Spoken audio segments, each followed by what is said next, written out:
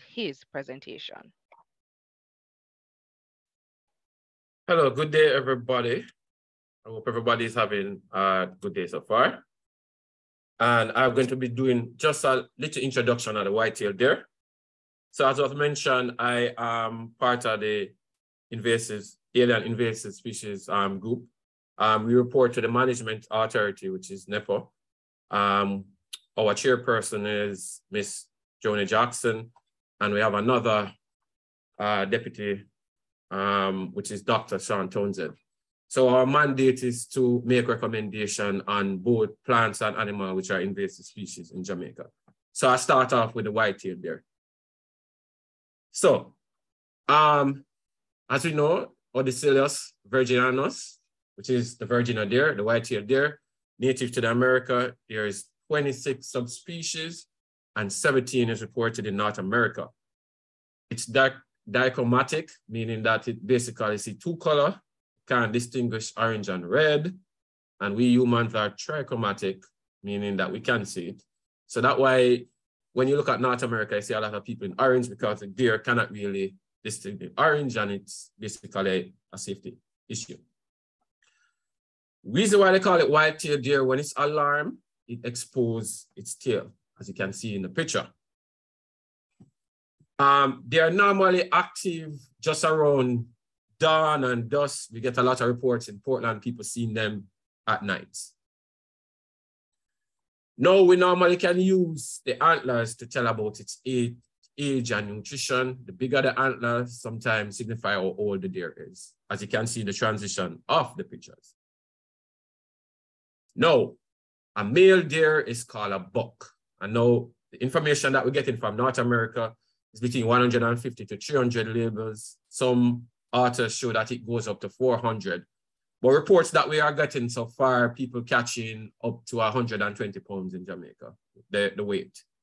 The buck shed their antlers yearly, and this can be used as to point us to tell us where the deer are. And the lifespan, they live up basically between two to six years, some even longer. The female, which is called the doe, um, normally wear less than the male and ranges from like 100 to 50 labels. Lifespan is a little bit longer than the male, and the baby deer is called a fawn. Now, the mating season stuff that we get, we use in North America, which is normally between September to January. The gestation period is relatively about six months, um, a yearling, the first time she has the fawn um might have one fawn, but we got anecdotal information in Portland that they're seeing up to two. And females um a year and two or older have two. But in Portland again, we get information that they're seeing them with three and maybe more. Because just remember, um, compared to North America that has seasons, um, Jamaica don't have no distinct seasons, so there is abundance of food. So things might change a little. Now, fawns are born normally between May to June in North America. We don't know that here yet. We are doing studies. Um, as you can see to the left, that picture, that's a one day old there. And then we have a three month old. Now let's go to Jamaica. Now, the where the deer is found in the Caribbean, it has been introduced to several Caribbean countries. This includes Jamaica, Cuba, Puerto Rico, St. Croix, St. Kitts. In some of these islands, it was intentionally brought there for meat. Um, that's not the case for Jamaica. Now, um, according to the literature, what was reported, we had a touristic facility in Portland and after Hurricane Gilbert in 1988, roughly six escaped. Some people said some escaped before, but we have in the literature that um, in 1988, um, it was at this touristic um, facility. Just remember that people in North America see there as regular. In Jamaica, we don't normally see it. So we kind of said Bambi's here and locals wanted to see it. So when it got, when it escaped, um, over year, a farmer report telling me that his crop was being damaged. And then one morning he went out there and he saw a big Bambi walking past. And that's the time he was aware that deer were around. Now, one of the first documentation, a colleague of mine, Chai, in 2003, she did a study on the distribution of deer within the project area, and she found them in the small farms and forests. Now, this is a map that we have of the area where the deer is found. We have Darley, Industry, Shoebury, and uh, that, and right here is the Blue and John Crow Mountain National Park. So at the time that she she found it, there. um this area that she found it is about five kilometers from the Blue and John Crow Mountain National Park. Just a reference, there is no barrier stopping them from walking from that area to the park. So we assume that they're there, we just need to do more studies. So after 2003, we start getting more sightings. So we now get um, the spreading. We have got stuff from social media, people showing where they catch, taxi man hit down one. Um, somebody saw one in the house in Port Antonio. We got this one where a clipping somebody show what they caught in Boston. And we also got information between the Portland and St. Thomas boundary over the center. They start seeing a few. Interestingly, we also heard about people having private collection of theirs in St. Andrew and in Clarendon. Now, the first question people asking us about the population status. Now we have this paper on St. Matthews Island where there were about 29 there and over 19 years, the number went up to 6,000. Smaller island than us. Um, similar to Jamaica, I don't have much predators and stuff like that. So if you do the maths, um, Hurricane Gilbert, um, more than 20 something years has passed. We don't have much predators um, after, we don't have no natural predators out there possible predator people might have might have been the screwworm, which you would know it normally affect like young goats and everything. So we think it would affect the deer in that way. But other than that, the only possible predator would have been man. No, in Portland, these this is what is reporting. No, the deer love cash crops. So it eats yam head. It love carrots. And the guys tell us that it love the carrot when it's ready to reap. So the deer wait till it um, to the left, we have a pumpkin that the deer bite up, and they love um, sweet potato, and sometimes when apples, they come down. So we believe that the population move basically on the availability of the food. Other animals in the area that does that is the wild boar, or what we call the wild pig. Now, this is a local plant, which is called hog meat. Um, people traditionally feed it to their pigs. So the wild pig love it. And we also use it to track the deer. So over here, this is normally hog meat. We can differentiate when the wild pig eat it based on how the, the deer nibbles. So this is one of the plant that we find that the deer likes. So when the food, like the crash crops are not eating, we go to local plants. The thing is, we need more studies to tell which local plants it is eating because we're not sure. Now, what problems do the, the, the, the deer cause from an environmental standpoint? Um, it compete with other herbivores. So we have um, native herbivores that it might have, or native herbivores are possible like coney. Um, we don't, we're not sure of a conflict there. Um, some of the snails, and you name it. So that's one of the competition. The next thing is it eat native plants and it's in other countries, it is shown that it's spread invasive. So it eat and then it go in and it spread like invasive plants.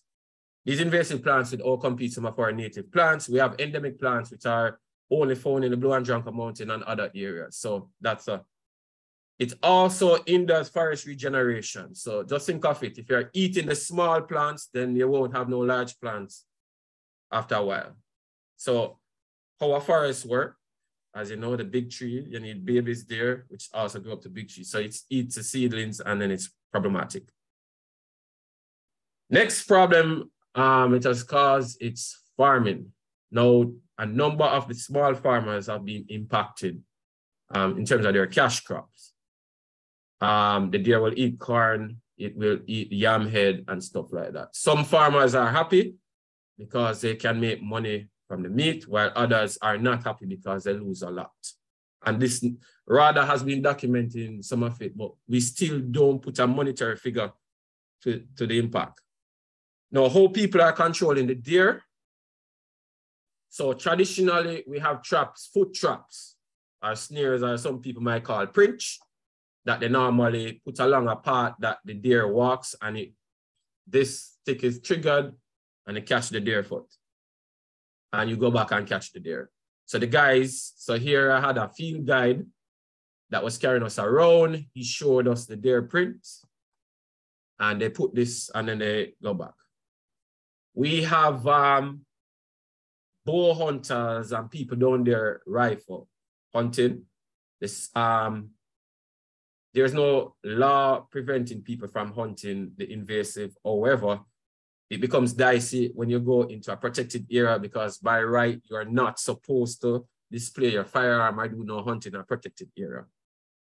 They also different from North America. When we hunt wild pig in Jamaica, we have dogs that go and chase the, the pig out of the bush. Or sometimes the dogs um hold on the, the pig until the hunter comes. So we have bow hunting, we have rifle hunting. But and another thing that um, some people do, but not on a large scale, they trap. They set feeding traps, and the deer will get trapped in it. But what was interesting the other day when we went to a meeting down um, Portland and talking to some of the stakeholders, is that sometimes some of the fishermen also enjoy. So when the wild pig guys, um, sorry, when the hunters with the dogs chasing the deer, they sometimes go in the river, go into this, um, go into the water, and they might swim out to maybe a mile out there. And then, you know, our, or, or fishermen or entrepreneurs, they go and get them out of the water. So I was alarmed to know that they also catch them at sea. The deers are pretty good swimmers. Now, as I stated before, um, currently, um, there is no hunting season for the deer. It is not illegal to hunt it. However, when it comes into a reserve and a sanctuary, um, as it said here, 50 meter no hunting restriction around the boundaries, and you can or locked up. And then the discussion, people ask how you allow hunting of wild pig in these protected areas, and you're going to affect me go, um, as a hunter going in. So that are some issues that has to be sorted out, but that's some of the issues that we find out. Now, what the people are doing, how they utilize the meat. Now you have jerk there. The, the raw meat itself is sell for between two to three thousand dollars a pound. Um, the guys jerk it. This we have. Um, they prepare it similar to how we prepare um, goat. So you have curry there. Um, the difference is what we do, what they do here, um, some of the guys, they prepare the deer like how they would do wild pigs. So in North America, they normally skin the deer. We find some of the hunters, some hunters do skin, but some of the others um, squinch the ear similar to how they do the, the pig. So instead of skinning it, they squinch the ear off the, what I should say, the, the deer body. And you, when you go down there, some people make some good mannish water as a deer patty, deer steak, so the people are utilizing it. However, so based on what I just talked about, there, there were some recommendations. So as in anything, there are conflicts that are developing. And some of the conflicts are between hunters, guides, and farmers.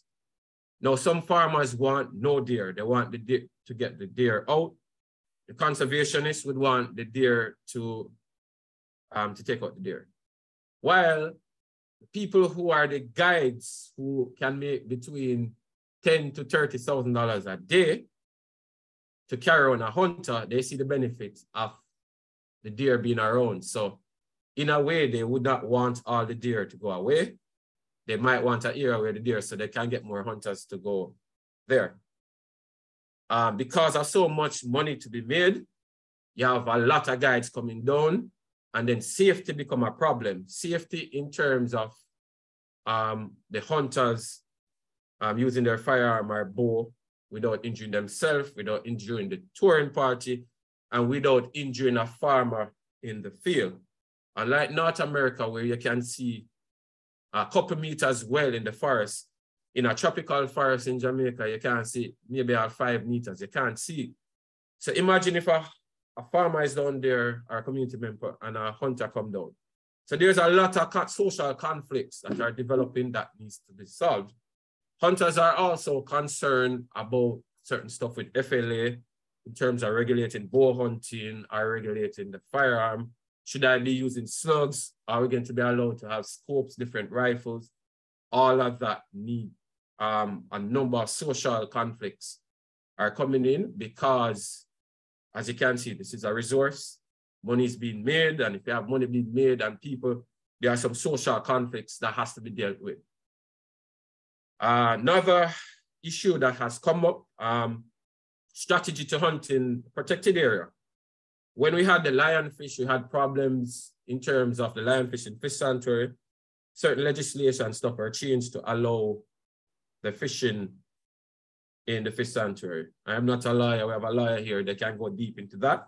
People are asking if we could put something similar. I don't know, but it's an issue because you have the deer don't care whether it's a bird sanctuary or it's a protected area. It just go around.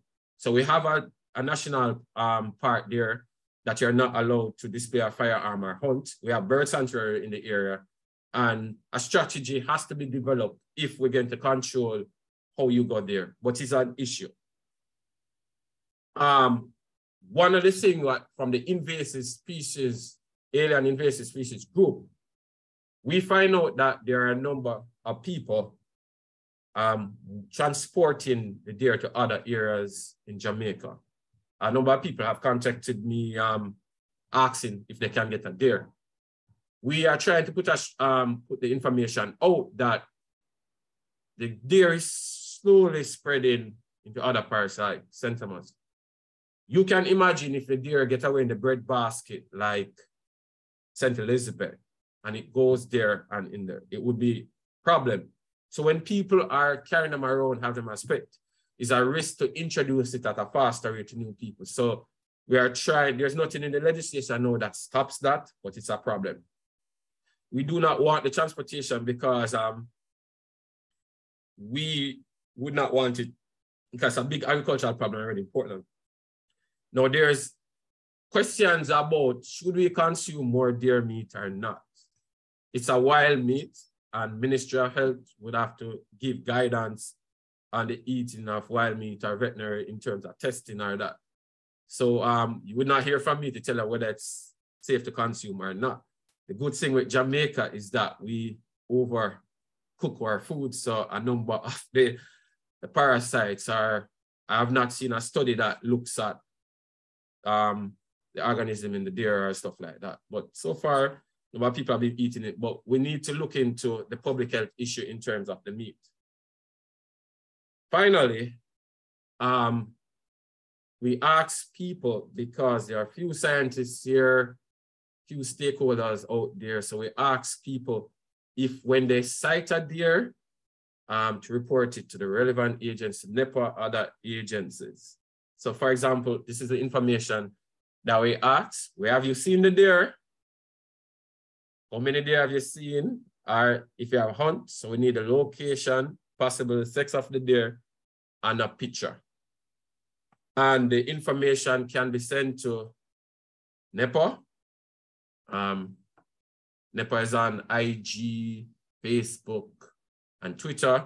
If you have a problem, you can send it to um, my contacts their email or to Russo as well. We send this because this is the information that we're using to guide um, to develop management strategies. Some of the stuff that we might be, what we are planning on doing, we going to be doing some camera trap studies to confirm if they're in the park and to confirm new areas where they're spread. So this is just an introduction um, to the white-tailed deer in Jamaica. Thank you very much.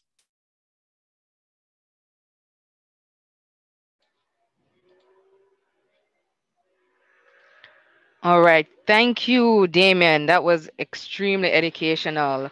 Uh, we we at NEPA we have fact sheets and we have some information about the deer, but I know that managing the deer is an ongoing process. And it is helpful to note that the deers are migrating to protected areas and there's no hunting allowed in the areas. So the onus is really on people to take the personal responsibility and not to hunt in those areas. And I'm glad we're getting the facts from the experts. And so now I will hand over to Dr. Anthony DeNicola, president of White Buffalo, so he can start his presentation and give us even more information. Reserve all your questions until the question and answer section. So make note and we'll get to them. Dr. Anthony, over to you. Thank you. Is, is my screen being shared properly?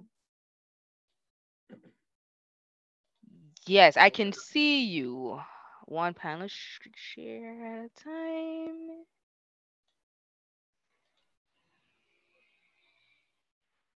All right, you should be able to, you should be able to share.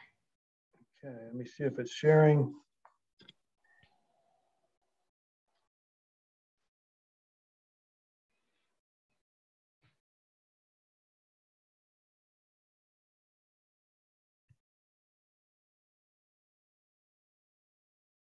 Is that working? Yes, we can see your screen. Yes, we see your the, the slide view of your PowerPoint. Terrific. All right. Well, Damon, thank you very much for the, the intro. Um, saves me some time and shed some good light on uh, what you all are confronted with down in Jamaica. And I want to thank everyone for inviting me here to speak. And um, I'll try to put context around um, you know what we call our conventional uh, deer methods as well as our what we call non-traditional deer methods which is really outside of using you know recreational hunters so we'll kind of go through some of the similarities and what we've experienced here in the contiguous 48 um, relative to what you're beginning to experience uh, down in Jamaica. Um, it is unfortunate to hear that uh, um, you have another invasive species established. Um, they're probably not as detrimental as feral pigs, but certainly uh, they can play a role in, in impacts on, on your forest health as well as agricultural concerns. So um, what I want to do is spend a little time on a higher level overview and then kind of get into the weeds tying into uh, your existing um, we'll call it management or activity around uh, deer harvest um, in, in and around the, the area where they were released. So probably not as much of a problem uh, in Jamaica, but certainly can always be um, just in anywhere where we have high volumes of traffic.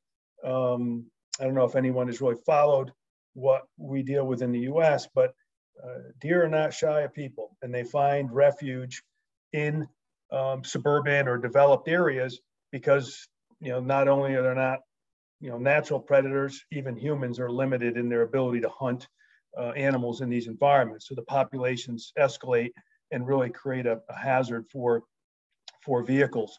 And uh, so that's probably our number one driving force.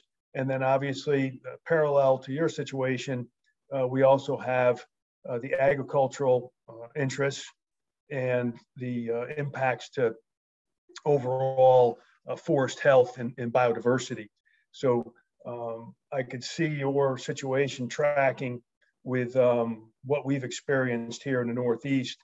And, and some of those vegetational impacts aren't as obvious early on. As you can see in the, in the lower left portion of the screen and lower right portion of the screen, you know, we get what's called a browse line uh, where the deer can forage.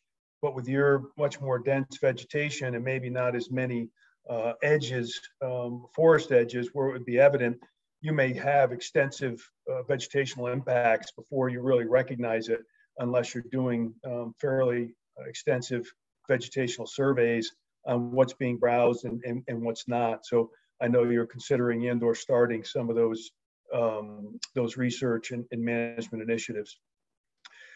Um, on our la- on our previous call, we, we spoke on you know how do we know how many deer are out there? And, um, and so given your vegetation and its density and visibility and the fact that you're not going to see whether you're on the ground spotlighting or uh, in the air with an aircraft as, as we often do here in the United States, um, you're really going to have to focus on using infrared cameras as, as Damon mentioned. um, strategically placing those out in grids, collecting your imagery, and, and then extrapolating those pictures into even if it's rough population estimates, at least you know um, what's out there, and then you can also start to see the extent to which they've expanded.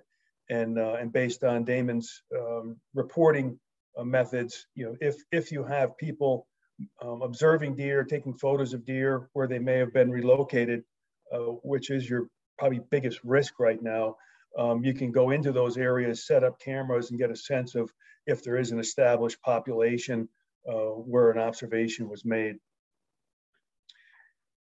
So in the U.S., um, you know, we've kind of gone from using recreational hunting, um, and back when deer populations were getting reestablished, because um, most of our deer back um, in the early colonial days when we stripped all the forests um, and, and we had market hunting, many of the populations were decimated. And so we actively tried to reestablish deer throughout the eastern United States. And in that process, we were controlling the amount of hunting so that the populations can grow. Well, we obviously weren't too smart and didn't foresee the problem of too many deer. And you know, how would we start to um, limit that growth curve and kind of level it off at a, at a you know an appropriate level from an ecological perspective or agricultural um, impact. Um, so we weren't smart. So our population kept going up similar to probably what yours is doing. And uh, and then you're trying to fix it when it's already at those elevated levels. So some of the methods we've used to work and control deer outside of hunting uh, in addition to hunting recreational hunting we call it um, you know, is, is professionals uh, shooting deer. And then uh, we also can trap animals as Damon depicted and, and maybe some, some more elaborate traps uh, and euthanizing those animals. Um, and then in our very densely developed areas where you have a lot of social pressure around um, killing animals. So, you know, we're looking at non-lethal, which at this stage, it has no real relevance to, to Jamaica, but just something that you know we've had to research here in the U.S. based on deer uh, habituating to people and getting into very densely developed environments. And then what I'd like to speak a little bit more on today is what we call controlled hunting, which is using licensed hunters. So you have to take a safety course um, administered by each state that affords you um, a hunting license, and then you pay fees in order to hunt different species. Um, but what we do in these uh, more sensitive areas, whether it's near um, private properties, agricultural areas, um, forest preserves like you're uh, working with, where you don't want to have conflicts between hunters and, and uh, other users, um, we have oversight on how those programs are implemented and how those hunters are able to access uh, the landscape. Um, and this is kind of a general guide that I use. So in very rural, um, you know, open areas, um, regulated hunting is kind of the method by which we we regulate deer populations. Uh, and as you get more densely developed or human activity levels, um, we need to manage those hunters. And then we transition to what I'm going to talk about today, where we train volunteers, volunteer hunters, on how to be more successful so they can actually meet management goals and then ultimately we use sharpshooting or professional culling when um, those volunteers are unable or will not have the abilities or equipment uh, or methods afforded to them to be able to kill large numbers of deer in, in very controversial areas like national parks, for example. So there's the white guy with the orange hat um, that Damon was speaking of. And, uh, and all our hunters are required to wear blaze orange. And that is a safety issue around um, being in the woods and ensuring that the public can see the hunter.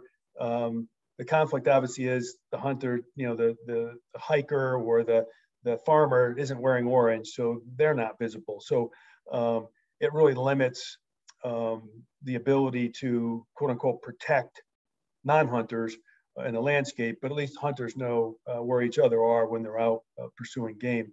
Um, and so this, regu this regulated hunting, as we call it, um, it's free, right? Hunters can go out, they get permission on properties, and um, and they harvest deer, use them to feed their family, and then um, and also as a form of it's a big form of recreation for us. It's very social uh, activity.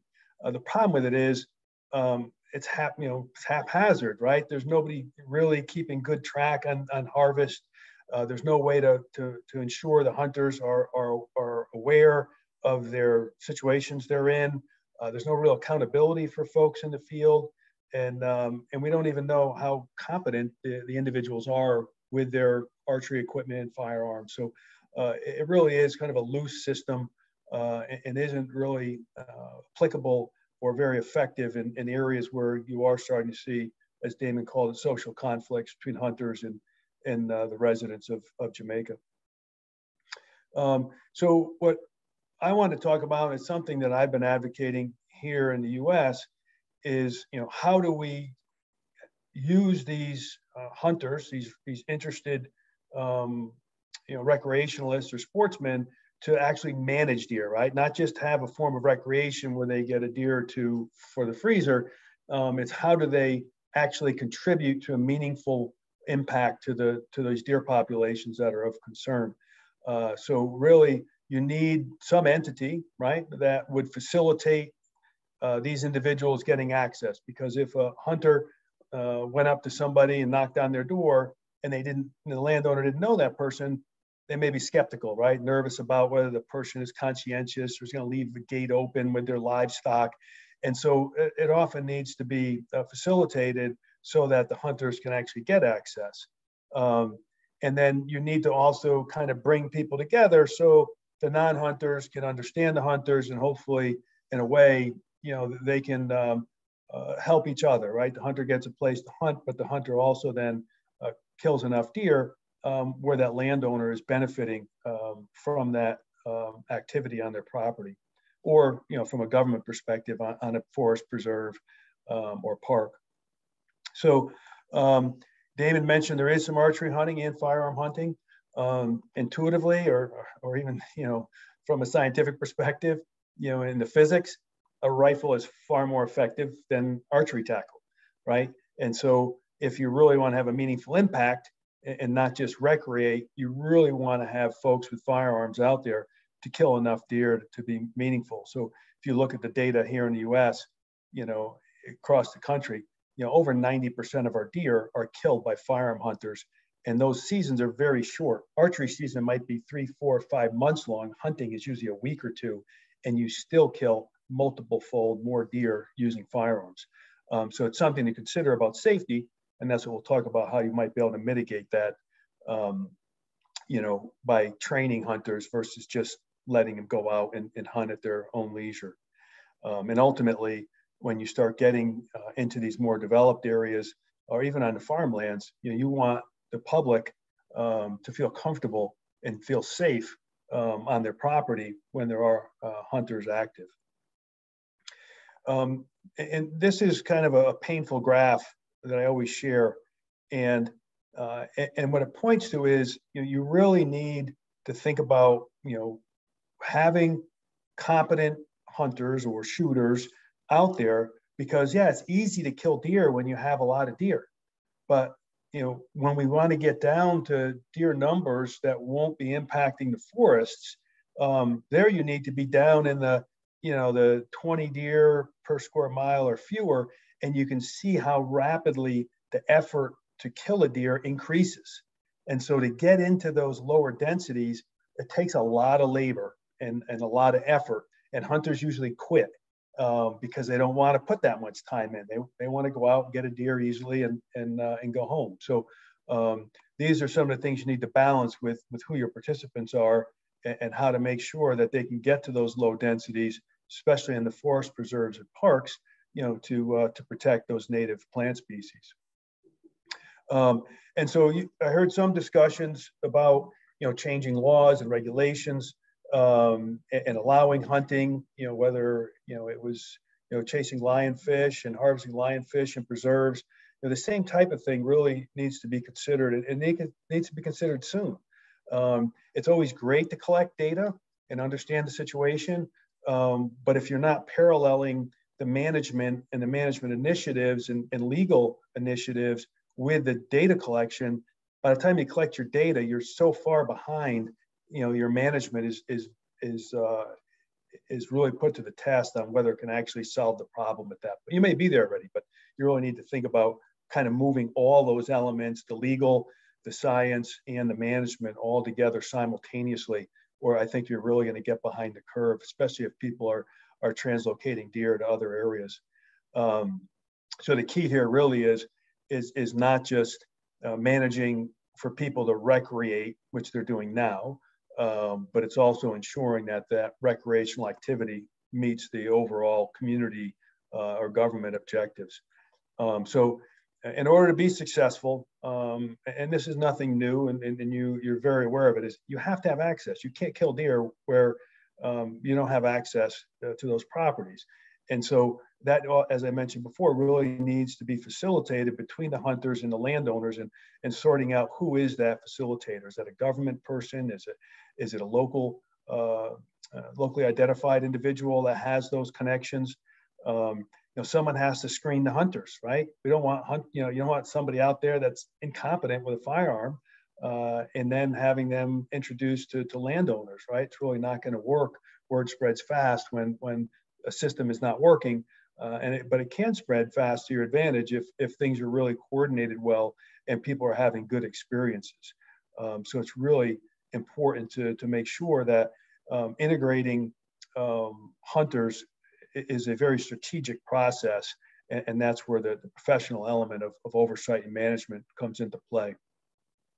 Um, and and I and I think we had discussed some of the the social networks uh, in Jamaica. Um, you know, that, as there are pretty much everywhere, right? You have these local groups, and they communicate with each other, and and it's finding those local leadership uh, folks that can you know serve as the interface with that community, and then using those key points of contact to use as spokespeople to communicate with hunters in, in those areas and, and the landowners. So it's trying to think about identifying those key players uh, that can really drive the system. And this is the same on any issue, but uh, it is a process. And the sooner you start, the sooner you can get that network established. And, and then from the hunter's perspective, as those densities get lower, you know, they start losing interest. That's what happens here in the US. So that's why the professionals come in because the hunter's like, I'm not going to go out for four days and not see a deer. Um, and so um, you know, if those hunters, you know, have uh, facilitated access to properties, um, you know, maybe there's some equipment that can be afforded to them if they're really contributing to the management efforts. Um, and then ultimately, you know, if there's a way to legalize the sale of the venison so they take ownership of it and sell it, uh, certainly, you know, that would incentivize them to go out and harvest more deer.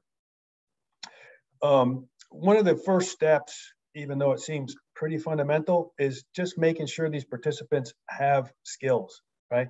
They have a, a, a quality uh, equipment and they know how to use it, right? Because otherwise, there's a lot of shooting going on and not a lot of dead deer, and uh, and the and the safety risks escalate as as the relative competency of those people uh, decline. So we strongly advise whether it's archery or firearms uh, putting through uh, folks, any participants in a program, through a very regimented screening process for, for their skills. Um, uh, going through education on you know what firearms to use and bullets to select so you can ensure that it's safer out there we don't want to have a big um, caliber gun with a lot of energy that puts more people at risk where if you have a more precise firearm and a skilled user you can really reduce the risk to the to, uh, from a safety perspective uh, and still ensure that animals are killed humanely. Um, and when we start getting into more, especially in agricultural areas, more um, uh, professional end of the spectrum, right? Really getting these trained individuals or professionals um, uh, more uh, successful, you can use um, leftover um, agricultural products, attract, you know, some of the the non-usable um, um, commodities and use that to attract deer into certain areas uh, so that you can more strategically harvest those and teach people how to do that effectively. Um, making sure people know uh, the boundaries of the properties, where the hiking trails are, uh, and really be forced to be familiar with where they're actively hunting uh, to ensure their safe operations uh, and to work around you know the other community uh, users in those areas whether they're farm workers whether they're hikers whether they're tourists uh, just making sure that those hunters are, are very mindful uh, of people outside of their hunting party. Um, and so uh, the more in most situations the more you train people and, and, and screen them the more competent those individuals will be right? And so you have to decide how much willingness there is to participate in the program, how much are you able to encourage people to participate, right, through land access, through sale of venison, um, through being uh, seen as a um, local community um, uh, kind of volunteer, right? They're helping their neighbors, and, and that's just kind of a feel-good benefit uh, because the farmer now can can maximize their their profits and um, and kind of it's a win-win. So, uh, but it is important to note that just checking people for their ability to shoot a firearm is not going to help them be a better uh, deer hunter, right? They really need training around how to be more productive so that you can meet your management goals. So it is more than just making sure they can shoot their uh, archery tackle or firearms proficiently. Um, it is important to collect data. Like you're starting to collect data on observations. You want to know who's out there hunting, where they're hunting, how many animals are harvesting, the age and sex of those animals, right? Use your camera survey data to see if you're having impacts uh, in those areas. Um, and then, you know, really understanding, you know, who these participants are, right? One of the things we focus on when we train people is uh, one of the most important elements is those individuals really understanding their limitations. How skilled are they? how does their how well does their equipment work um, and be mindful of that and then learn to improve those proficiencies where those limitations become uh, less and less impactful on their ability to harvest deer um, so we really do uh, need to make sure that people aren't just recreating or having a few deer for the freezer or to sell uh, they really need to hunt to actually manage these populations and if you're not setting that threshold you'll kill some deer, but you'll never really meet your objectives or minimize those impacts, uh, particularly to your sensitive forest plants. Um, so all those things tie into uh, integrating these hunters into the community, seeing them as as an asset to the community versus you know renegades that are out there hunting at night. Right? We want to pull them into that community fold so they are uh, you know accepted and, and and really appreciated by the rest of the community. Um, so you know, we would, we do discuss, you know, how to bait animals, how to manipulate those animals, how to be more effective at harvesting those animals, uh, ensuring all the safety considerations, whether that's ammunition or, or, or firearm caliber that's being selected. How do you set these environments up for culling so that you minimize any uh, safety risks? Um, and make sure folks are out there uh, that have the skill and equipment to, to get the, the most effective outcome. Uh, and we do go through, you know, discussing anatomy and, and how to, you know, place shots to ensure that animals are killed humanely. Um, you know, that is always, a, you know, often a, an important consideration um, when managing deer, particularly around people. You know, they don't want to see injured deer, even if they don't like the deer. Uh, certainly, no one wants to see an animal injured, you know, unnecessarily. Um, anyway, tried to keep that short and, and sweet. Um, I think we're opening up for questions later and happy to answer them. Happy to have open dialogue with folks by email or call later. Uh, just hoping I can help, um, you know, move your process along where you are able to uh, get the, the legal and, and political elements um, going in the right direction quickly um, so that you can actually get ahead of, of your deer situation uh, before you worry too much about just having data on what's happening, you can pretty much assume that if you don't manage whitetail deer, they will be decimating your forest in the long run. So there's no need to prove that, you know, before you, you take any action. Anyway, I hope that was helpful and uh, I really appreciate the opportunity to be part of this webinar.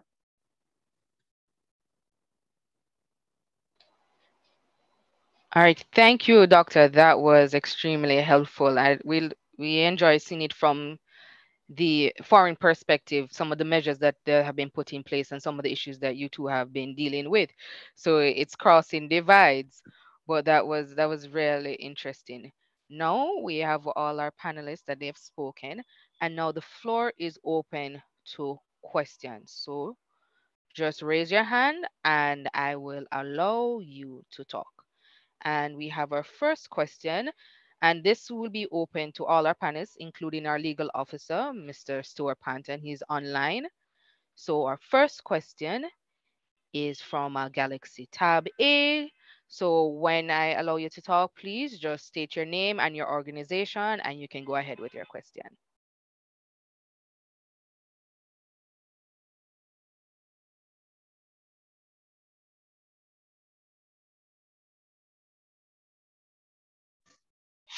Hello.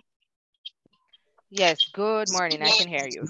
Yes, good morning, uh, um, panelists, and good morning, everyone. Uh, my name is Rohan McLeod. Um, I am a farmer and a businessman um, from Portland. And um, I kind of joined the, the webinar a little bit late. I um, joined in when the gentleman was speaking about the, the history of um, deer being in Jamaica. Um, there's a lot of how should I say, versions to the story. But um, most of the stories actually start at Hurricane Gilbert. However, the history is before Hurricane Gilbert. Okay, the first set of deer that escaped from the tourist facility, which I, am I'm, I'm not sure if you want to call the name, but I'll leave the facility nameless, um, escaped in actually 1980 when we had Hurricane Allen. Because all of this occurred right in my backyard. Hello? Yeah, yes, yes, yes, yes. We're listening, we're listening, yeah, we're. All, all, all, of this occurred right in my backyard. That was the first set of deer.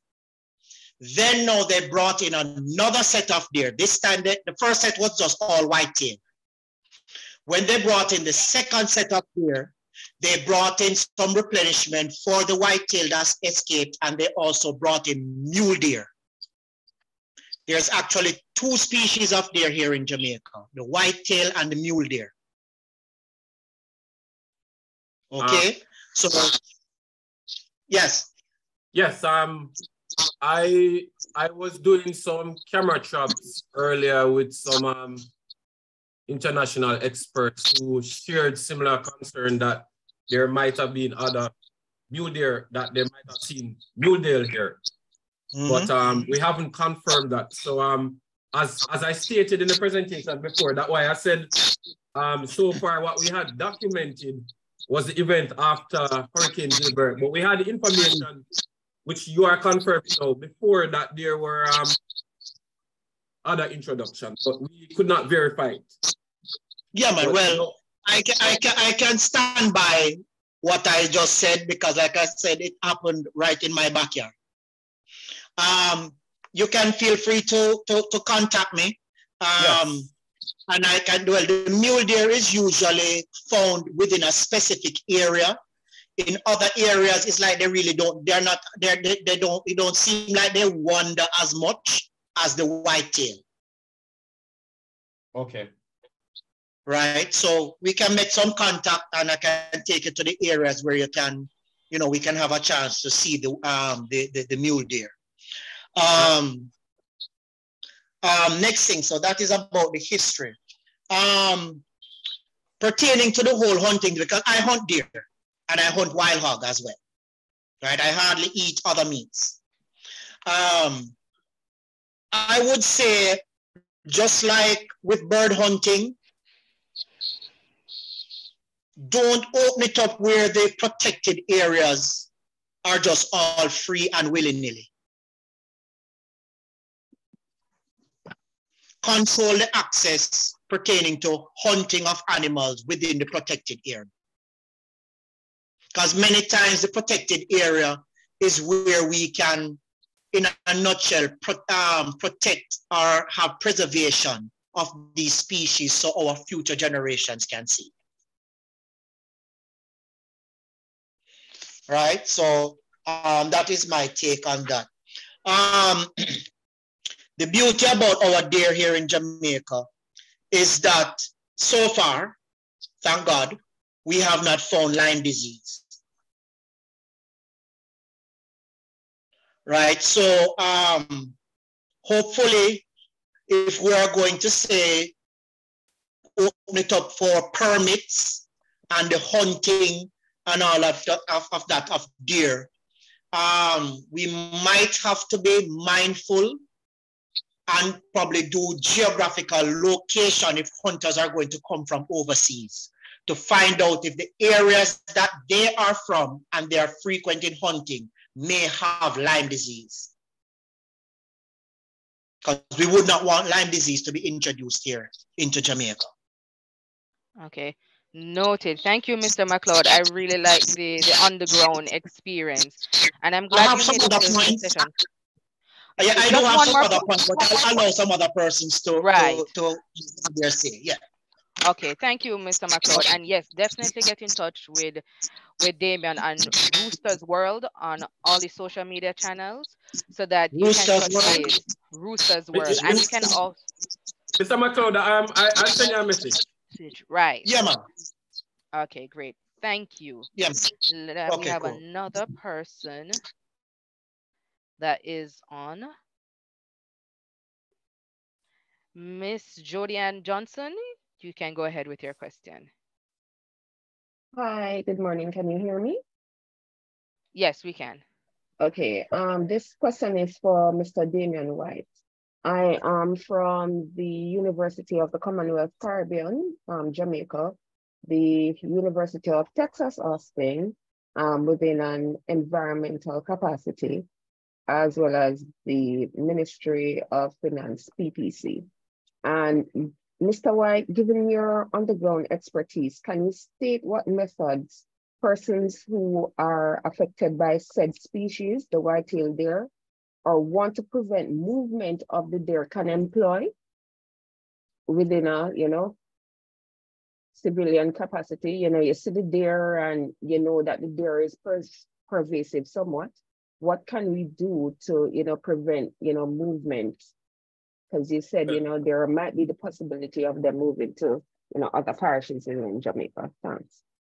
Well, that's a that's a that's a good question to ask what a, a civilian can do. And the, the first thing I would put it, um, the reporting mechanism that we that have been mentioned before in reaching out to NEPA and reporting that you have seen it. That's the first thing. The second thing is, um, as you heard I mentioned before, we know that some civilian, civilians are catching the deer and bringing it to the Right. other. We want to Right. encourage people not to do it. Most of our Okay. civilians do not have, um, I know a firearm is not readily available in Jamaica and it's very expensive. And I know civilians as Dr. Nic- Nic- Nicola just showed um, don't have the training experience in using firearms and all of that. Right. Um, I wouldn't want to tell in civilians go take up a gun or shoot or do trapping. I think the Okay. f- would be to get in contact with the, the experts. That's the first thing. Right. Um, and that would be one of the things that the management authority would have to come up with a mechanism where the report is done, maybe a local group, and then we have hunters come in that area and, and deal with it.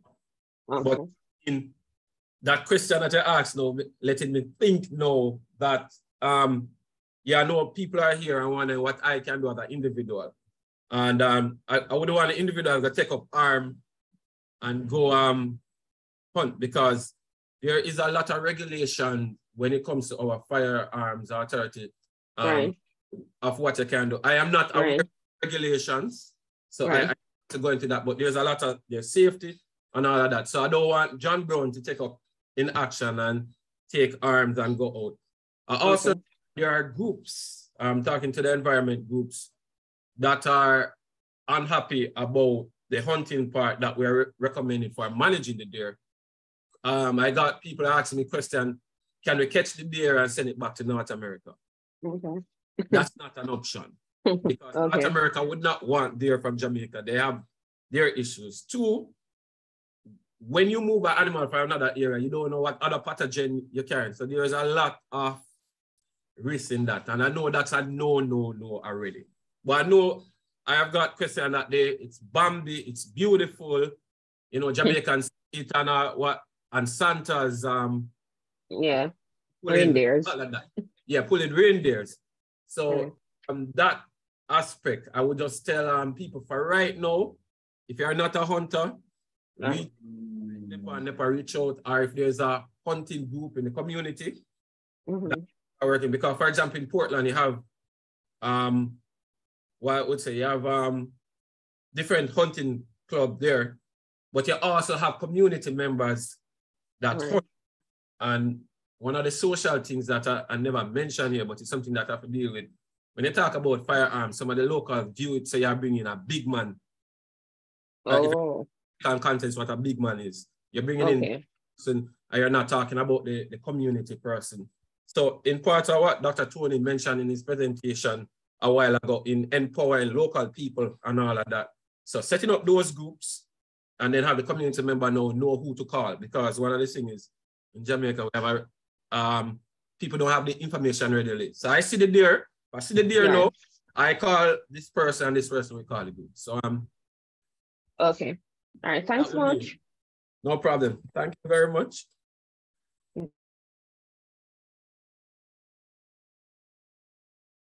We have one more question from uh, Jenny Daltry. Ms. Daltry? Hi, good morning. Good, good morning. morning. Um, I, I work for um, Rewild and Fauna and Flora International in the Caribbean, uh, uh, and we support a number of uh, projects around the Caribbean um, to conserve wildlife and including managing invasive species. Uh, one question, I, am not an expert on deer, so one question I have is, is I actually have two questions. The first is, you talked about trying to assess, you know, where are the deer, you know, are they getting into the protected areas? Um, you mentioned trail cameras as, a, as an option, but can you not simply identify the deer from droppings? You know, if, if if rangers and others on the ground can recognize the droppings, can they use those to reliably inform you that the deer are there? Or are there other species there that those could be confused with? That's the first question. The, the second is really, you know, we've had some really useful talks about the problems they may cause, the methodologies, but eh, what, what do you think your goals will be? Um, you know, the deer seem to be spreading, increasing in number. Does Jamaica want to control that spread and just hold the line and just say, okay, they're here now, but we don't want them spreading any further? Do you want to actually reduce the numbers in those areas or some of those areas? Do you want to even eradicate them from some areas?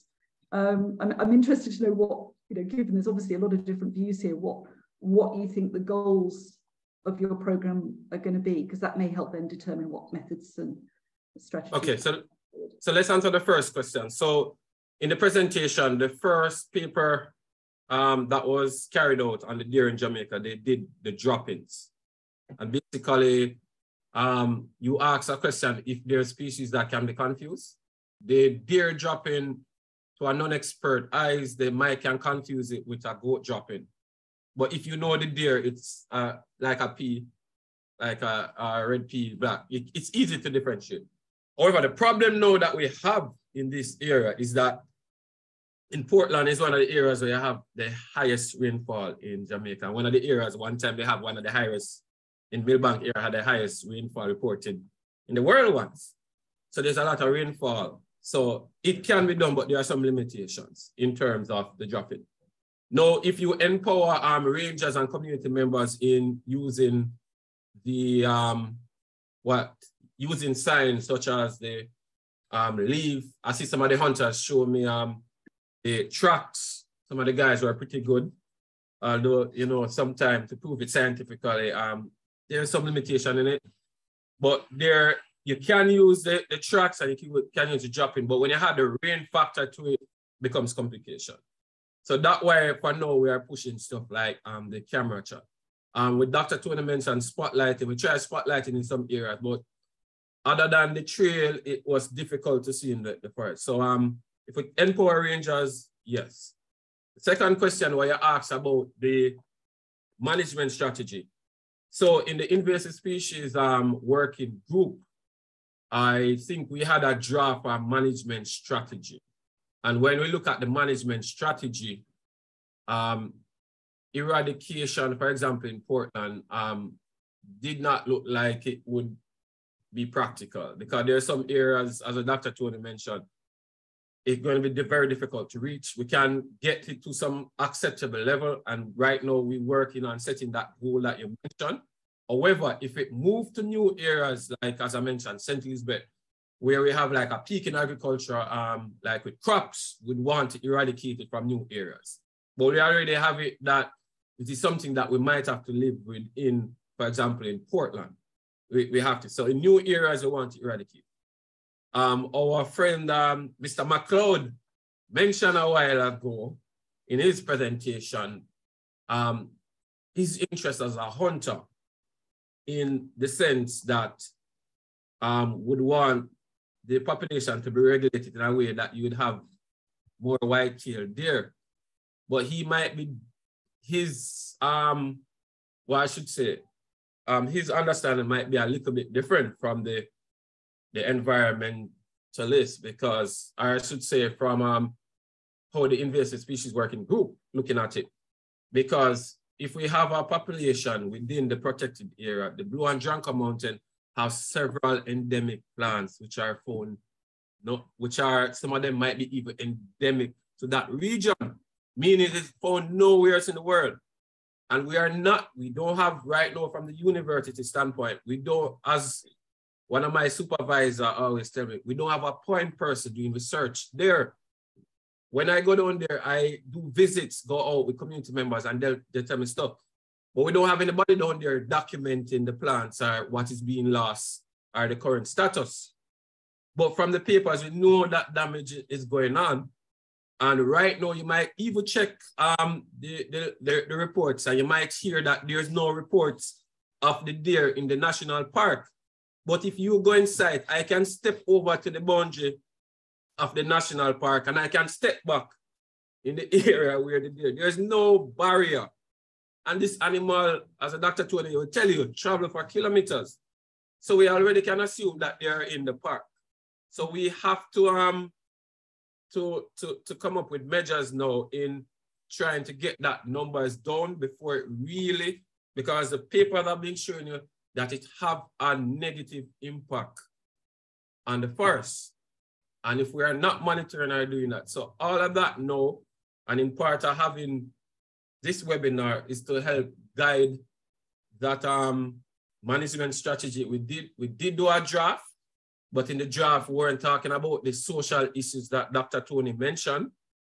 Um, because right now, personally, I believe if the if some management is not put into it and you have so much social issues going on, then we might have some negative impacts coming out of it. And um, this webinar is help putting it to our, um, what I should say, our team in help guiding um, the management strategy because the deer is new to us. But with expert like Dr. Tony, they have been doing a lot of study. And one point that he said that I agree with him, we have to put, we have to make sure that the research that we are doing is in line with the management strategy. We have a thing here, we're waiting on the research. The research guide the management strategy, but we have some literature already that tells the impact that it will be doing on our forests. So we have to act no. All right, thank you, Ms. Daltry. Thank you for your mm-hmm. question. We have two other questions. Uh, Ms. Cara Whitfield and then um, Anne. Ms. Whitfield, you're on the board, yes. Thank you. Hi, good morning. Um, I'm located in Portland and I do have deer on my property, but I'm not looking to uh, kill the deer or eradicate the deer. Um, I am vegan and recently I've started um, farming and I've noticed that they have been nibbling on the leaves of the plants. So is there any guidance towards living with the deer and somehow or is there any deterrent of the deer things that could be placed so that they don't try to eat your crops or is there a particular sort of fence that could be built i've seen things online where people use fishing wire um, you know, to make a fence to keep the deer out. Um, so that's my concern because I don't want anybody coming on my property um, hunting deer. Yes, Dr. Anthony, you, the floor is yours. Hi, Kara. Um, Hi. Uh, appreciate your questions. So I've done extensive research all the way back to the late 80s, um, looking at repellents, um, different fencing methods. And so in situations where um, you, can't afford to, to tolerate the deer's presence, and it is more of a, a gardening or, or small farming situation, um, and if you plan on doing this long term, then I would strongly suggest putting up a fence. And whether that's a woven wire fence or some type of more persisting um, uh, material so that you're not every year having to deal with this. If it's spotty and you're only growing crops at small intervals, you can use portable electric fences. Um, but mm. ultimately, what happens is the deer abundance escalates to the point where um, a lot of repellents and or electric fencing no longer becomes effective, right? They become more hungry. You have a nice garden uh, or farm crops on the other side of, of the fence and they're more persisting. So it kind of, in the long term, it's very hard and difficult to keep deer out um, as the populations increase. So if, if not going to be any active management anywhere in the area um, where you reside, then you're going to want to build a, a fairly robust fence. And, and, I would suggest a, a woven wire fence that will last, you know, many years. So every year you're not going out trying to do a patchwork of, of, um, of materials.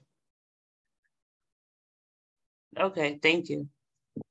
And just one follow up on that. Um, I got anecdotal information from some of the farmers who tried using dogs. Now, the dogs are effective in chasing them out when they come in, but when they just chain the dogs to the property, the deer worked out how far um, the dog could go and they would eat the crops to that areas. And the dog. um, they're very smart. Well, that's why they're persons, they're very smart. So I mean, um, we we I think it's it's something that now has to be put to the, the government in in pushing um or maybe rather Ministry of Agriculture that in funding more research in that area, although as you can see from Dr. Anthony that tell you from his research that whatever you put in, you have to be changing, changing because the animal is smart. So it might work today and tomorrow you come up with something. But I do um, understand and that's why we like having a meeting like this because as I was mentioned to a number of stakeholders, not everybody wants everybody on their property. And I'm very glad that you asked that question, Kara. Thank you. You're welcome. All right. Thank you, Kara. Let us move on to Anne. Yes, yes, very, very, very interesting presentation.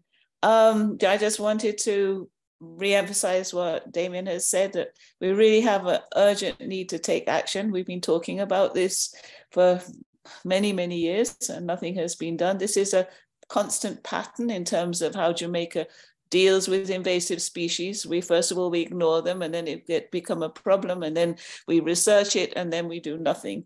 Um, and I, I think um, this is somewhat something where the implications for our agriculture, for our farmers. I mean, the idea that that people are going to have to put um, 10 foot high chain link fences around their gardens if they want to keep the deer out um, the cost to, to our farmers is, is huge. And if it spreads to other areas, um, then that's it's, a, it's a, really is a disaster.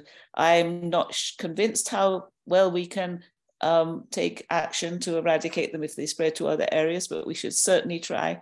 And we need to have a task force and an immediate um, find funding immediately to to be ready that if somebody says, as people have said, that there may be um, deer in Clarendon, that we can we have a trained party of of licensed hunters or who can actually go out and and get rid of these things at a very early stage. But the whole pattern of with with invasive species is of course that they stay at a very low level where it's almost impossible to to control them and then when you've got enough species that everybody sees there's a problem it's too late anyway we need to take some urgent action um, I just wondered um, from Dr. Anthony, like you're you very strongly emphasized um, using firearms and trained hunters, but there's many issues with that for Jamaica. So I wondered to what extent you think that um, training people to to use traps or maybe improving trap technology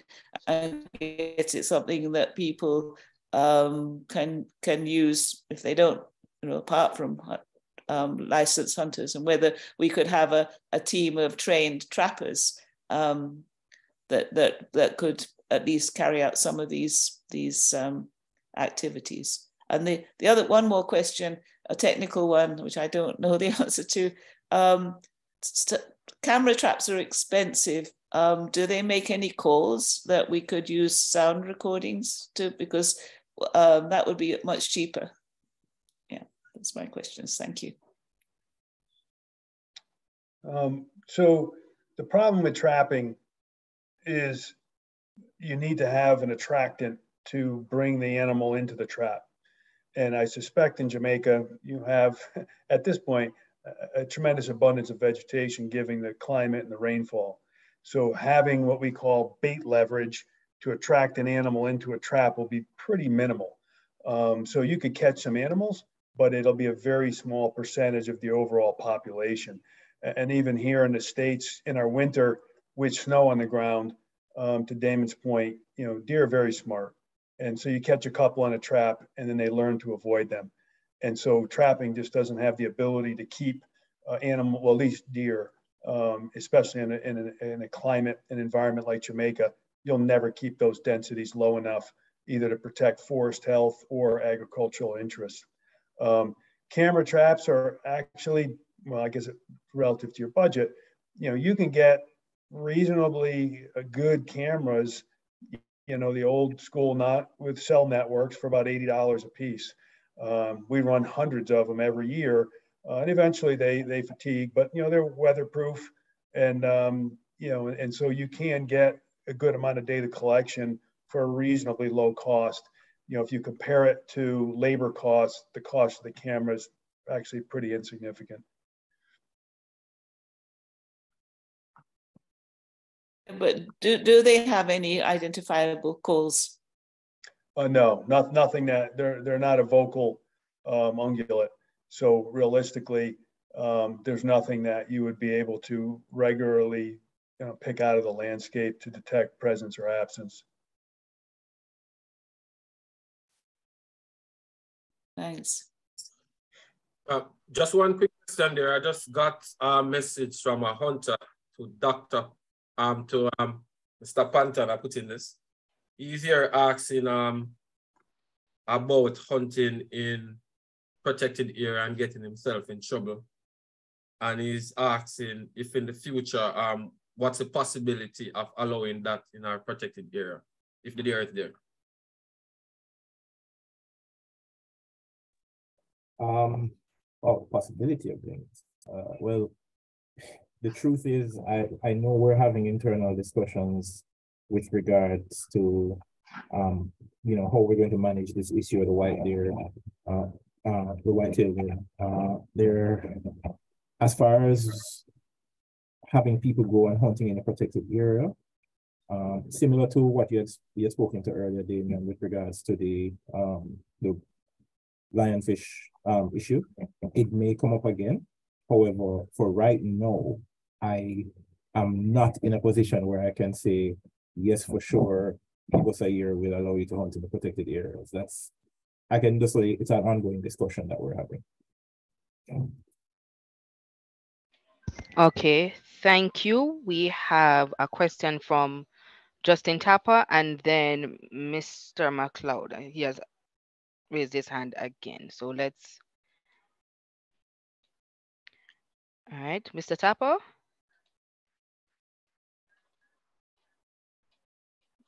Justin Tapper from the University of the West Indies. Um, my question is that, is there any other impact seen on the environment and the agriculture in Jamaica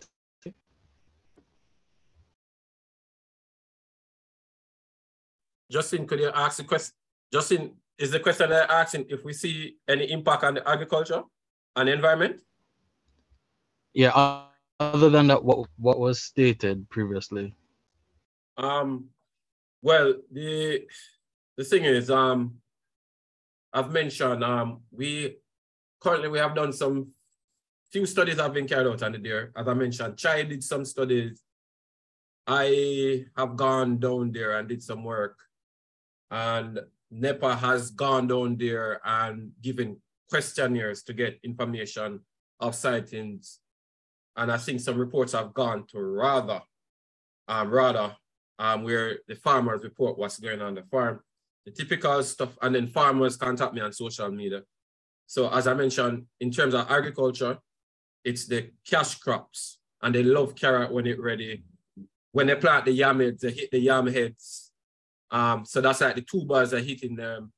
Um, one of the interesting stuff that I found out though, they were saying that when the crops are in season, then the number of their activity are present increase, which shows you that they move. So um, in terms of that, we know that it affects the, the agriculture there was this big concern, and I'm glad Mr. McLeod mentioned it, where people um, just imagine at the time that the, the deer came in earlier years, they didn't have strict regulations from the environment in terms of you have to do certain health. Um, you'd have to check all the health, the diseases, the pathogen the deer had. I don't think at that time we were that stringent like what we are now. So there, in the scientific group, people were concerned if there were some diseases there. Um, this can only be answered by vets and stuff like that. But so far we haven't heard, we haven't heard about Lyme disease here or other stuff, but we're not sure who's doing it. So there was this worry, people were wondering if you have wild animals near to our farm animals, if they had a disease it pass over. So we have no reports of that. So in terms of agriculture, it would affect the crops and there would have been a risk to livestock. When it goes over to the environment now, we have not done a detailed study. So far, if you check the literature, as I said, they are not reported in the, the protected area, but we know there's no bias, so they're there. But we don't have any information on what plants they're eating or stuff like that or wild trap. We don't. Um, are we doing studies? No. We don't have anybody owning it. We don't have anybody funding that, and we need to move towards that. However, we have we have enough information from the literature to see the other countries that is uh, um, impacted to make correlation and know that we can develop a management strategy to a point before we can go back and let the literature guide it. And then the last thing, as Dr. Ann Sutton mentioned, when it comes to invasive species, you have to act now. You can't wait a year or two. I mean, they're spreading, whether we like it or not. I mean, we are the, the first time we did this talk, it was around Somerset Fall when it just escaped. Maybe if we put in enough energy, it would not have spread to where it is now. It is going over to St. Thomas. And we know, and we know that, I know that people are carrying them around the place. We don't know if they have escaped. And our hands are tied because we can't stop somebody from carrying it to another area. If this really gets away in our bread basket and a population is set up, it will cost us millions of dollars because when you hear what some of the farmers complain about, I understand some people might be happy to go there and hunt. And yes, there are benefits, but you have to weigh both of them. So for example, like the invasive species committee, we are looking at the environment. We're also looking at the agriculture. While on the other side, the communities might be benefited that, but then you have to look at the greater good. So there is a lot of discussion that we have to have. I understand what uh, Mr. Panton said about the protected area, but just remember that the deer don't know a protected area. So one way or the other way, we have to find a solution quick to that. And we have to, um, Dr. Sutton mentioned something that we don't want to mention. In Jamaica, it's not, it's very difficult for a normal man to get a firearm because it is expensive. Plus we have a crime culture. So putting all of that together, it is very tricky with the firearm thing. And it's something that we have to deal with.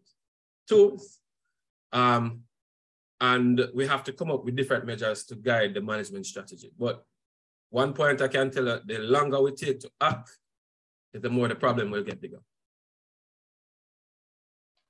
All right, thank okay, you. Thank you very much. Yes, thank you, Damian. And let's um, go back to Mr. McLeod for his quick comment. Okay, um, good morning again. Um, I just want to first thank all of the panelists for sharing your wealth of knowledge, and it is greatly appreciated. And um, I fully agree that action, serious action is required. The population out there, I would say, is more than what is reported because they have a wide array of vegetation to choose from. They have favorable weather. And even during the times when I am used to, when I'm hunting in the States and, and all that stuff, and you would now know that, okay, this is the season for when the deer would reproduce. I am noticing that in Jamaica, they're not, they're not reproducing on any season. Right? Um, next thing, about what uh, Mr. White mentioned about the competency. I used to do organized hunts with persons who have firearms. I am connected to a shooting range. So what I usually do, I usually take them to the shooting range and test their competency to see how accurate they are, to see how skillful they are.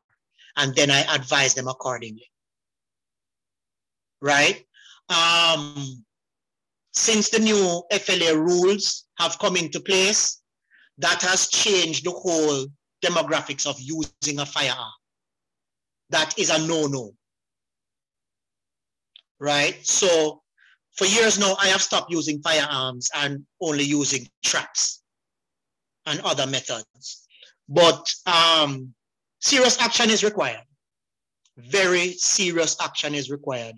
And even as Mr. Panton mentioned, um, looking at the whole thing about the protected areas is something that has to be added to the mix as well. How? Because they can be quite devastating. Just think of a donkey with a combination of a goat. They can be very devastating. They can go up high and totally rip down a tree, and they can behave like a goat and just eat everything down to ground they can be devastating. Another thing that we could look at, if they, if they do venture now into the protected areas, could we look at doing um, selected commercial farming of the deer, where they are captured and brought to an area that is properly set up and that person can do commercial farming of the deer. So that's my two cents that I want to add. So Mr. White, Mr. Panton, or Mr. Tony, if you want to reply to that. Dr. Tony, I pass over. Yeah, I really don't have much experience there. The um, I guess all, all part of this conversation and hence why we have Mr. Panton on uh, and his involvement with legal aspects. I mean, you need to structure a program like this so you can get um, capable and interested parties involved, and they would have an exemption either for the possession and utilization of a firearm relative to deer management uh, and access to whether they're government or park properties.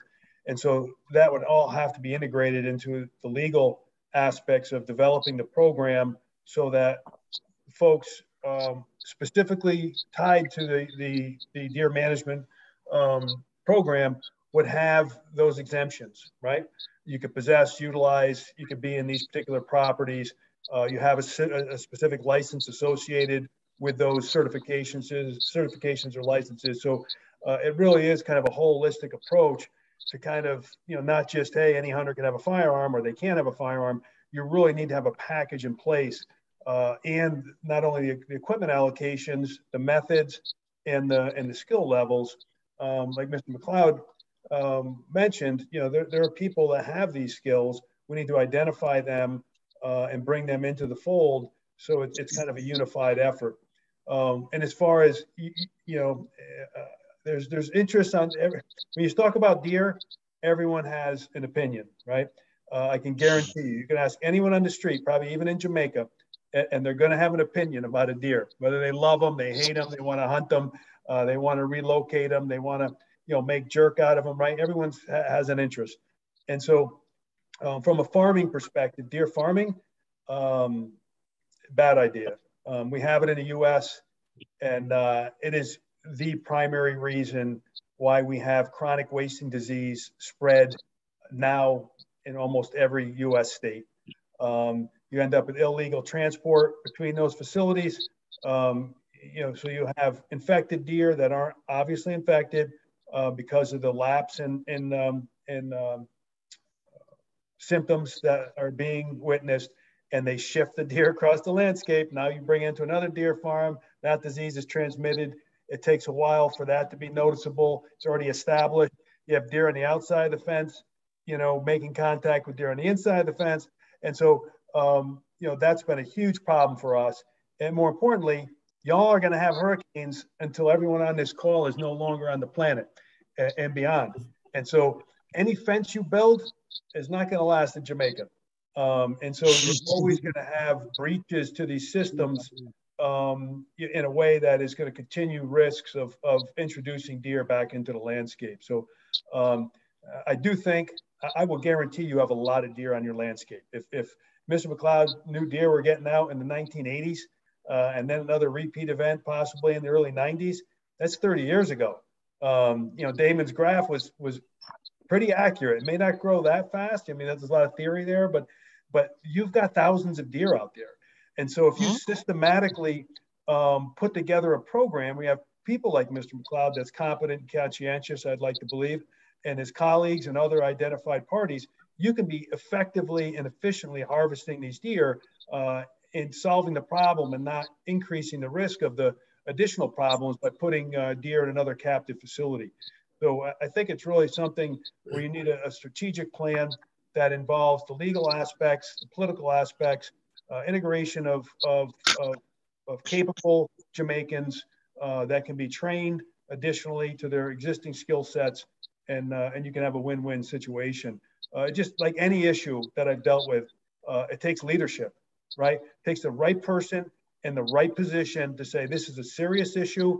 Um, pull together a team of folks like Damon and, and, and Stuart um, that say, hey, this is what we need to do to get this type of program off the ground and then drive it forward.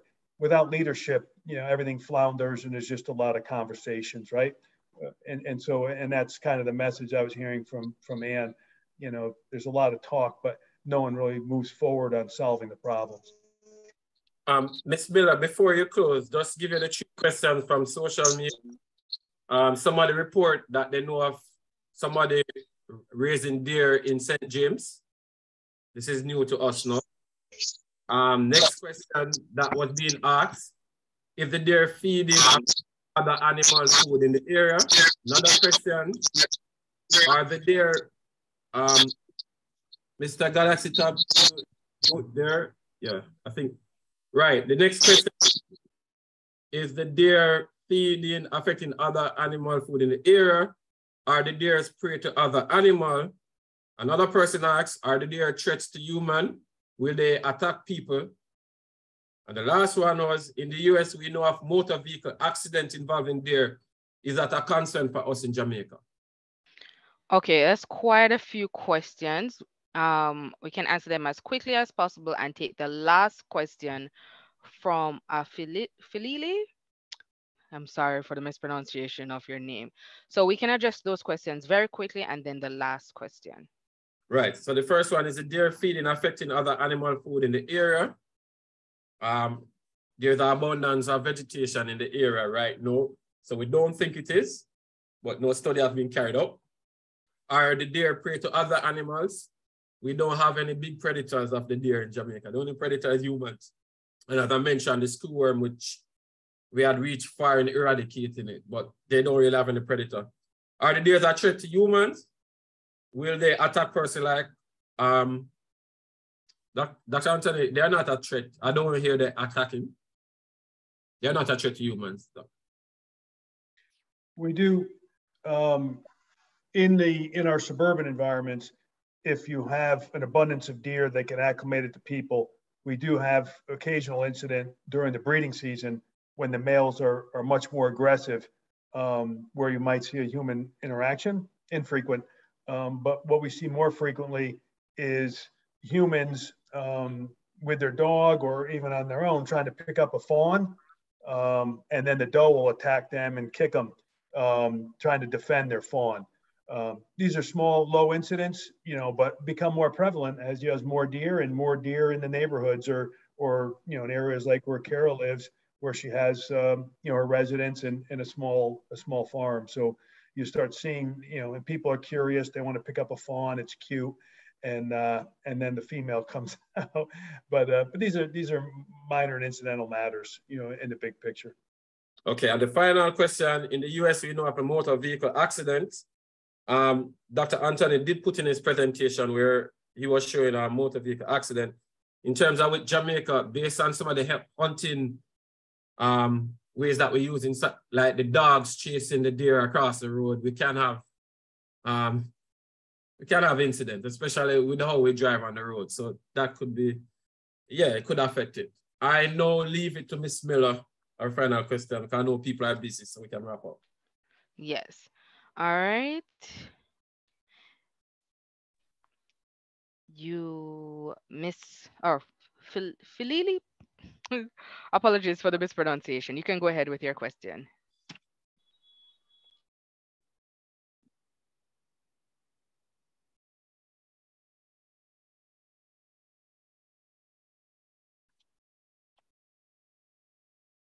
Hello, Miss Philili.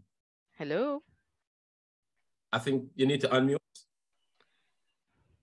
She is unmuted. Hello? Yes, yes we now we you. can hear you. Okay, so good morning. I'm Karen Barnett from the University of the West Indies. And I was wondering if we could use the deer population to our advantage, where we could probably use them to control invasive species, plant species. Um, all right, so the, the thing is, from the, the studies that we have, um, the deer eat a number of invasive species, but by doing it, they are spreading the seeds. So it would be like, just imagine planting seeds with fertilizer. So they eat the native stuff and spread like grass and some other, other invasive. So into that, in, in that sense, we would not be getting an advantage, it would be a disadvantage. So um, we couldn't use it in that way um, right now because remember it's a herbivore and it would be going in there and eat all the small plants. And as I mentioned in the Blue and John Crow Mountain National Park, we have a number of endemic plant species, some which are found only in that area, some not even reported to science as yet. So um, that would be the answer to your question. And in wrapping up that, I just want to add something that somebody put to me on social media that I wasn't thinking about. Um, they were mentioning that with some of the hunting thing, they have um, wild dogs like in the forest or in the protected area. If we recall how the Jamaica iguana was found, was basically some hunters in there, a wild, uh, sorry, a hunting dog catch an iguana, it was damaged, we brought it to UA, and that was the starting of the iguana project in some of the areas like the park, we have very interesting animals like the coney, the hutia, which are endemic. And I need to check if it's endangered. It's an endangered species. So when we have wild dogs and stuff like that, so if we increase hunting, I know people might increase carrying dogs and stuff.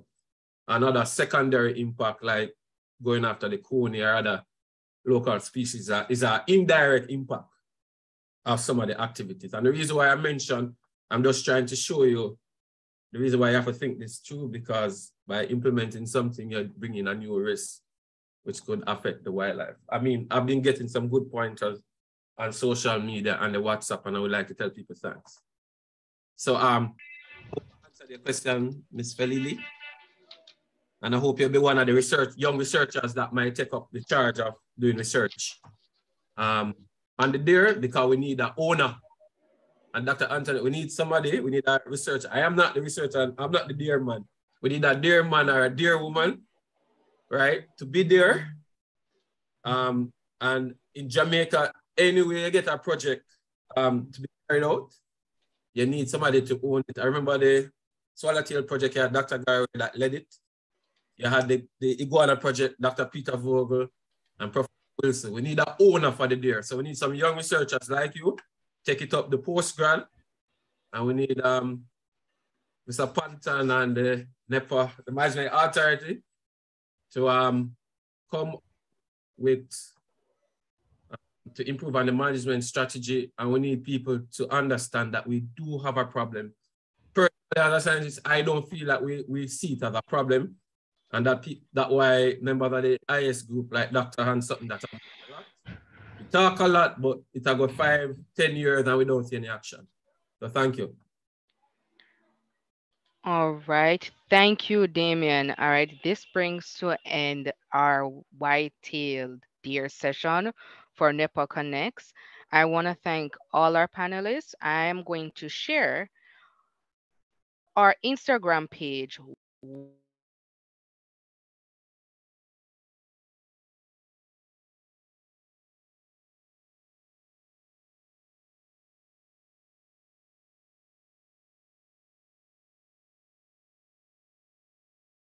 And this page, we're on Twitter, Instagram, and Facebook at NEPA Jamaica.